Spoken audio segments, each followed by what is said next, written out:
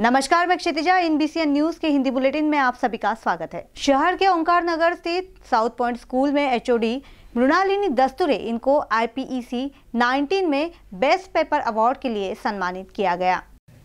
South point school Omkar Nagar HOD को IPC 19 में best paper award प्राप्त है।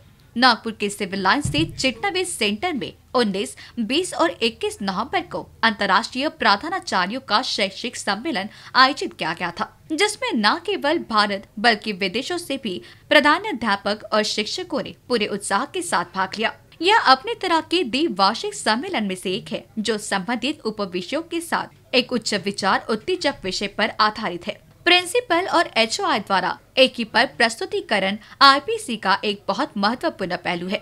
इस वर्ष आईपीसी की आयोजन समिति ने कुल चवालीस पेपरों में से सर्वश्रेष्ठ सामग्री के साथ 10 पेपरों को सर्वश्रेष्ठ पेपर पुरस्कार प्रदान किया गया।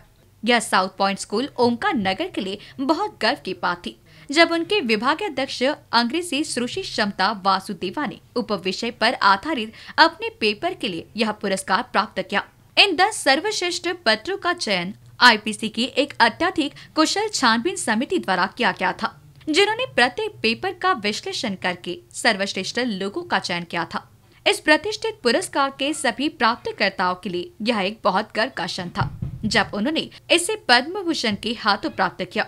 विश्व मोहन भट्ट, जिन्होंने अपनी सम्मानित उपस्थिति के द्वारा सम्मेलन में भाग लिया स्कूल के निदेशक देवेंद्र दस्तूरी और प्रिंसिपल डॉक्टर मृणालिनी दस्तूरी ने उन्हें इस महान उपलब्धि के लिए बधाई थी।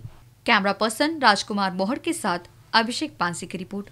नमस्कार, मैं क्षितिजा। इन न्यूज़ के हिंदी बुलेटिन में आप सभी का स्वागत है।